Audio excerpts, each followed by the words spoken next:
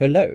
If your Pygame is already installed, but it still displays an error like this, the first thing you're going to do is to go to View, then Command Palette, then type Select Interpreter.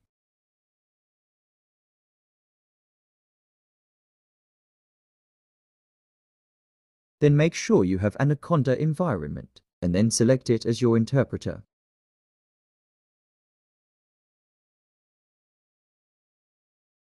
And now it will work completely. Thank you.